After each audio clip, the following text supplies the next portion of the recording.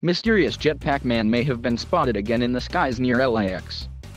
Air traffic controllers warned pilots to be on the lookout after a man in a jetpack was spotted near Los Angeles International Airport.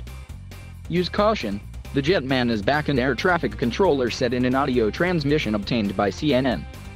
Let me know if you see him. A Federal Aviation Administration spokesperson said that a Boeing 747 pilot reported seeing an object that might have resembled a jetpack at about 6:30 p.m. on Wednesday. It was about 15 miles east of the airport and flying at an elevation of about 5,000 feet. Air traffic controllers alerted pilots in the area out of an abundance of caution, the spokesperson said. SkyWest 3626, did you see the UFO? asked the air traffic controller in one transmission.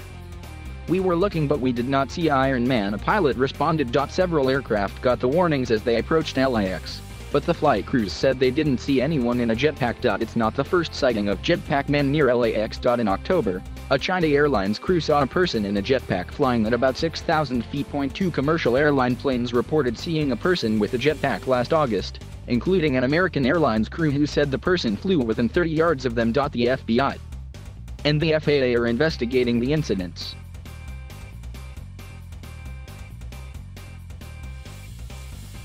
Thank you for watching.